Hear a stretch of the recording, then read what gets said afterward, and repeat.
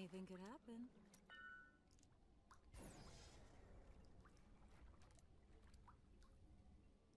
What a steal. I can't carry any more. Have you spoken to Orek? Not yet. What does one say to an ancient Nephalem ghost? I suppose you start with hello.